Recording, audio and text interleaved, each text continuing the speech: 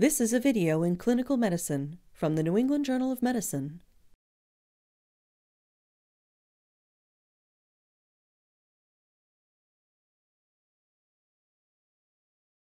The placement of umbilical catheters is an essential technique for the treatment of many newborns in unstable condition. This video will demonstrate the placement of catheters in the umbilical vein and the umbilical artery. Careful preparation, sterile technique, and attention to detail are instrumental in successful catheter placement. We will demonstrate the regional anatomy of the umbilicus, indications and contraindications for the insertion of an umbilical catheter, the recommended technique for catheter placement in both the umbilical artery and vein, selected complications associated with the procedure, and suggestions for how to avoid them, and appropriate aftercare of the catheter.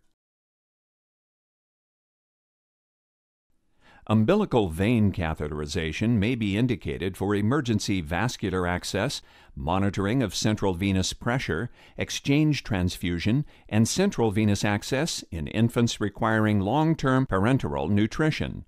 Umbilical artery catheterization is indicated for frequent measurement of arterial blood gases, continuous monitoring of arterial blood pressure, angiography, and occasional resuscitation.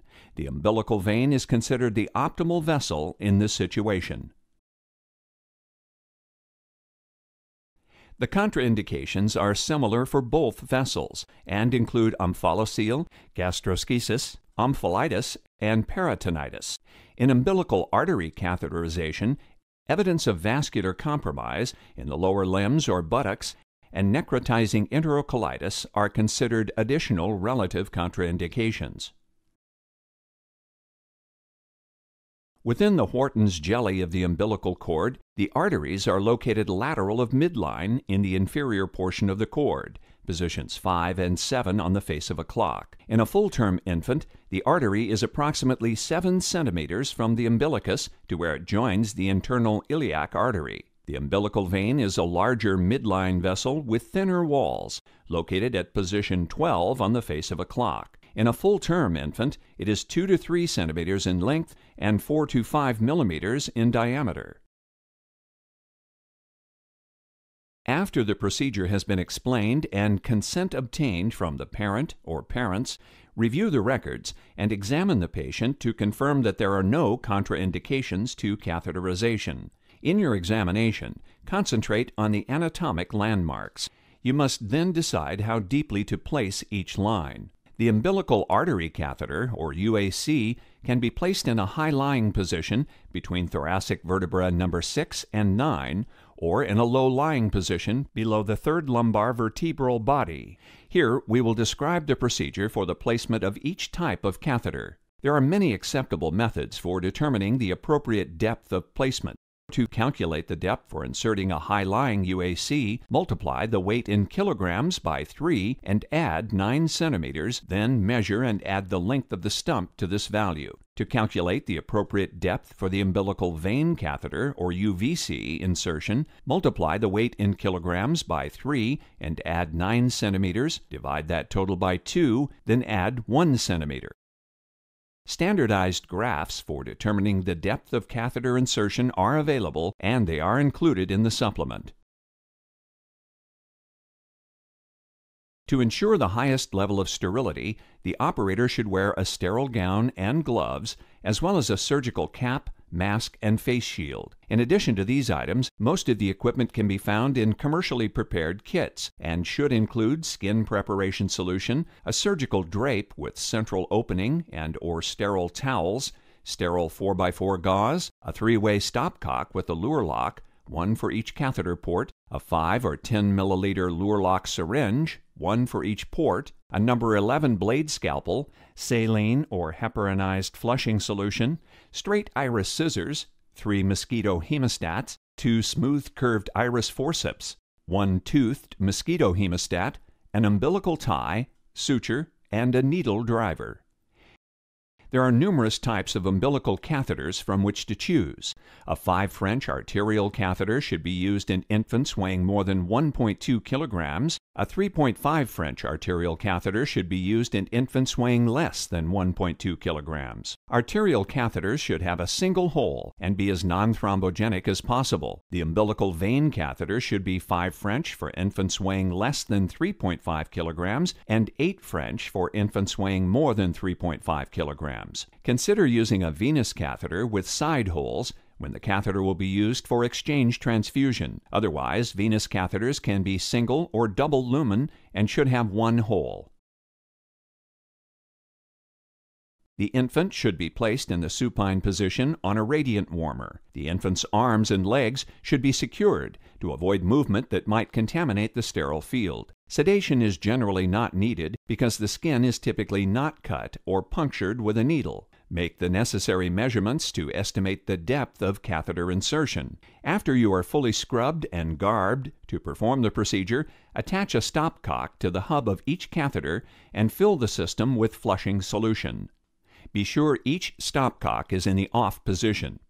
Ask an assistant, who need not be wearing a sterile gown, to grasp the cord by the cord clamp and apply traction vertically. Apply antiseptic solution to the cord and surrounding skin. Apply sterile towels or surgical drape in such a way that the patient's face is visible, then wrap the cord tie around the base of the umbilicus and tie with a single knot. The knot should be tight enough to prevent bleeding from the cord, but loose enough to allow the catheters to pass through the vessels of the cord. Cut the cord horizontally with the scalpel, approximately 1.5 centimeters from the skin. Take care not to cut the skin that is at the base of the cord. Ask the assistant to remove the cut cord and clamp from the field. Identify vessels within the cord. Control any bleeding by adjusting tension on the umbilical tie and by blotting, not rubbing, the freshly cut surface. It is feasible for a single operator to place an umbilical catheter successfully. However, we will describe and demonstrate the procedure for the operator working with an assistant donning sterile attire. The assistant should use the toothed mosquito hemostat to grab the side of the cord near the artery to be cannulated and should avoid grabbing the artery. Clamp a curved hemostat to the opposite side of the cord. The assistant should apply traction to these hemostats in opposite directions to stabilize the cord. Using your non dominant hand, Place the closed or pinched tip of the curved iris forceps into the lumen of the artery to a depth of approximately 0.5 centimeters. Keep the tip closed on initial insertion and then remove the forceps. To dilate the artery further, place the closed tip of the forceps back into the artery, insert to a depth of 1 centimeter, and allow the forceps to open slowly. Leave the forceps in an open position for 20 seconds to dilate the vessel completely. Use your dominant hand to grasp the catheter 1 centimeter above the lumen using the other mosquito forceps, or using the thumb and forefinger, slide the catheter between the tips of the forceps within the umbilical artery. Using a firm, steady motion, pass the catheter 1.5 to 2 centimeters into the artery and remove the indwelling forceps. Grasp the cephalad portion of the cord with the toothed mosquito forceps and apply traction in the cephalad direction to assist in passing the catheter deeper. Once a depth of 5 centimeters has been reached, draw back on the syringe to ensure the blood is able to flow. As the catheter is passed to the predetermined depth, you may encounter resistance at the curvature of the vessel, approximately 6 to 8 centimeters in depth. The vessel should slowly relax, not pop, as you apply constant pressure. Confirm placement with radiography or an ultrasound image. A low lying catheter should be at lumbar vertebra 3 to 4. High lying catheters should be at thoracic vertebrae 6 to 9. Secure the catheter with a purse string suture. Avoid puncturing the catheter, the vessels, or the skin. There are several stages at which you may encounter difficulty with insertion. If the catheter threads to only 3 centimeters, the umbilical tie may be too tight. Loosen the tie, redilate the vessel, and reinsert. If insertion is easy but there is no blood return, or if you sense a pop after entering the lumen, the catheter may be in a false track outside the vessel. Remove the catheter and prepare the other umbilical artery for insertion. If you encounter resistance at 6 to 8 centimeters in a full term infant, the catheter may be at the curvature in the umbilical artery, curving around the bladder before it enters the internal iliac artery. Apply gentle pressure for 30 seconds. Some experts recommend positioning the infant on the side, with the artery being cannulated in the superior position, flexing the hip to facilitate insertion. In our experience, it is often best to move on to the second artery if resistance is encountered at this curvature. To insert an umbilical vein catheter, with your non dominant hand, grasp the cord with the toothed forceps. With your dominant hand, using the mosquito forceps, remove any blood clots from the entrance of the vein. Using the mosquito forceps, introduce the pre-flushed venous catheter attached to the stopcock and syringe into the lumen of the vein and insert 3 centimeters. Gently pull back on the syringe to ensure blood return and proper placement. If blood returns, continue inserting the catheter to the predetermined depth. Obtain radiographic or ultrasonographic confirmation of the catheter position. The ideal position is in the inferior vena cava, near the right atrium. Secure the catheter as you did for the arterial catheter.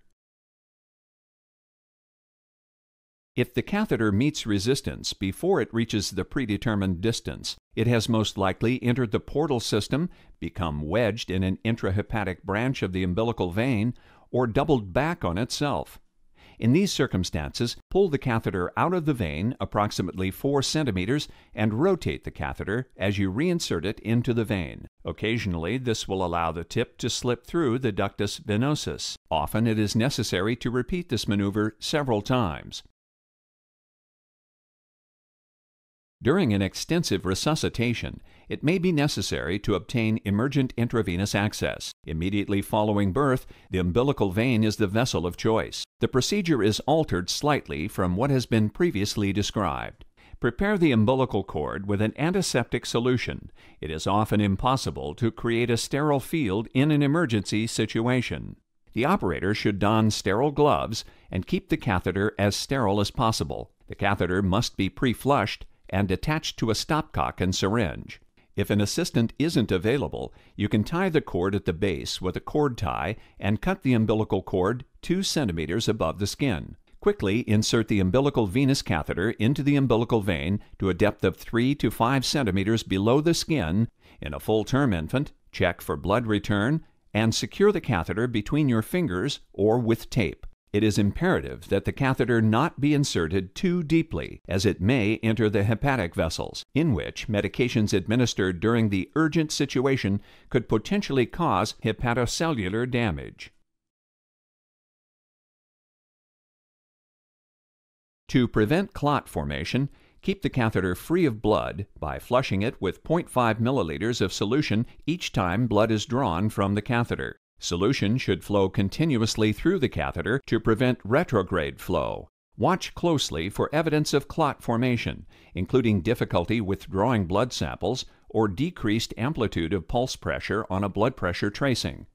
If a clot forms, do not attempt to flush the clot forcibly. Unless the line is critical, it should be removed. UACs can cause or be associated with multiple complications, including but not limited to thrombosis, embolism, vasospasm, loss of extremity, hypertension, air embolism, necrotizing enterocolitis, infection, and bladder injury. If malpositioned, these catheters can result in vessel perforation, refractory hypoglycemia, peritoneal perforation, and sciatic nerve palsy. Complications associated with UVCs include infection, thromboembolism, perforation of the peritoneum, portal hypertension, digital ischemia, and pneumopericardium. When placed in the wrong position, UVCs can cause pericardial effusion and tamponade and cardiac arrhythmias. Umbilical catheters should be removed when complications occur. The length of time an uncomplicated catheter may remain in place is the subject of some controversy. At present, we recommend strict adherence to individual institutional policies until consensus on this important issue can be obtained. The placement of umbilical catheters is an indispensable technique used to stabilize the condition of critically ill newborns. Proper insertion technique and knowledge of potential complications will improve the utility of these catheters in the newborn population.